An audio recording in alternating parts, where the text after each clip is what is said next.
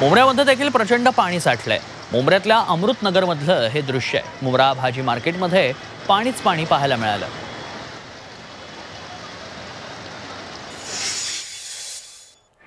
खड्ड्यांचा अंदाज न आल्यानं महिला जखमी झाली आहे पण भांडूपमध्ये महिला खड्ड्यात पडून जखमी झाली आहे खड्ड्यांचा अंदाज न आल्यानं महिलेला दुखापत झाली. प्रत्यक्षदर्शींनी मदत केल्यानं महिला वाचली. आहे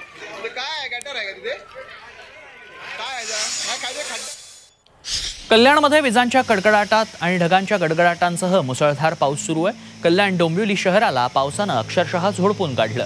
कल्याण बाजारपेठ परिसरातील रस्त्यांना नद्यांचं स्वरूप आल्याचं पाहायला मिळालं. तर अनेक ठिकाणी पाणीच भरल्याचं पाहायला मिळालं.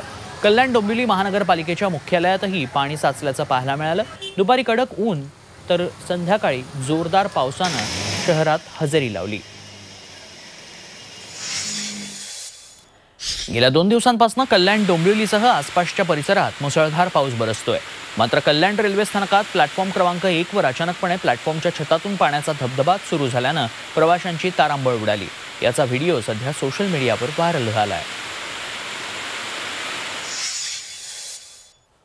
पालघरमध्ये मुसळधार पाऊस सुरू असल्यानं काही प्रमाणात विश पाऊस मुसळधार पावसानं काही प्रमाणात विश्रांती घेतली आहे तरी विजांचा कडकडाट अजूनही सुरूच आहे. रात्रीच्या सुमारास पालघरच्या दोन वेगवेगळ्या गावांमध्ये झाडांवर आणि राहत्या घरांवर वीज पडल्यानं घरांचं आणि इलेक्ट्रॉनिक वस्तूंचं नुकसान झालंय. पूर्व मुंबई उपनगर परिसरात पडत असलेल्या पावसाचा फटका सखल भागात राहणाऱ्या नागरिकांना बसलाय. भांडूपमधील कोकणनगर सह्याद्रीनगर बुद्धनगर पठाण तबेला परिसरात पाणीच पाणी साचलंय. मुंबई महानगरपालिकेच्या रखडलेल्या ब्रिमस्टोवॅड प्रकल्पामुळे परिसरात नाला रुंदीकरण झालेलं नाही. त्यामुळे पावसाचं संपूर्ण पाणी रस्त्यावर तर साचतंच. सोबतच नागरिकांच्या घरात देखील हे पाणी शिरतंय.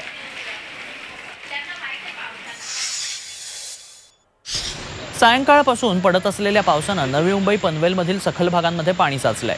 यामुळे घरी परतणाऱ्या चाकरमान्यांचे प्रचंड हाल झाले. वाशी ऐरोली तसंच पनवेलमधील औद्योगिक वसाहतीमध्ये पाणी साचलंय. ऐरोलीमधील बस डेपोत साचलेल्या पाण्यातून मार्ग काढताना प्रवाशांना कसरत करावी लागली.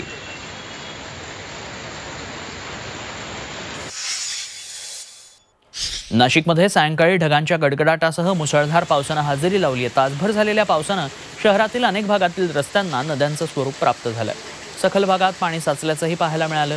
या पावसामुळे अनेक गणेश मंडळांचं नुकसान होण्याची शक्यता आहे.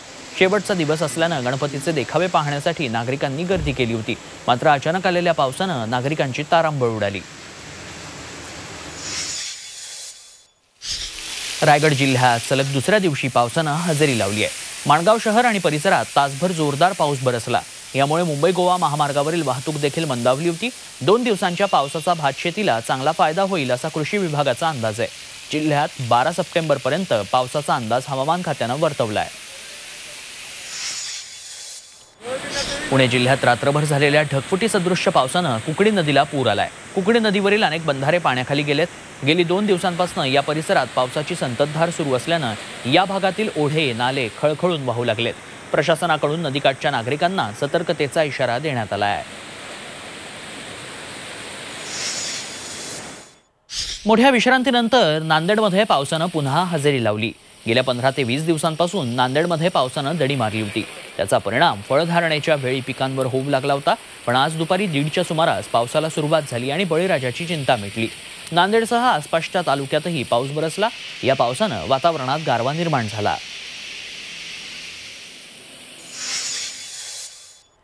पुणे जिल्ह्याच्या आंबेगाव तालुक्यात वळती परिसरात ढगफुटी सदृश्य पाऊस बरसलाय. या पावसानं ओढ्याला आलेल्या पुरात नरहरी शिंदे या शेतकऱ्यांची कांदा चाळ वाहून गेली. पुराचं पाणी थेट कांदा चाळीत शिरल्यानं शिंदेंचा साठवलेला अर्धा कांदा पुराच्या पाण्यात वाहून गेला.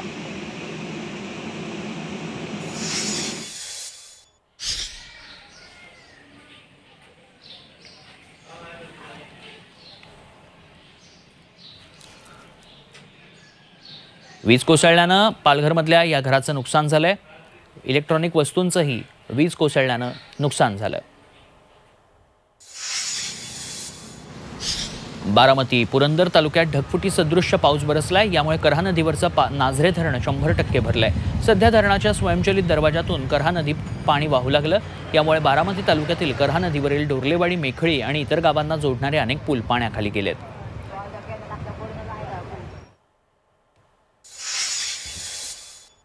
छत्रपतींचा विचार. म्हणजे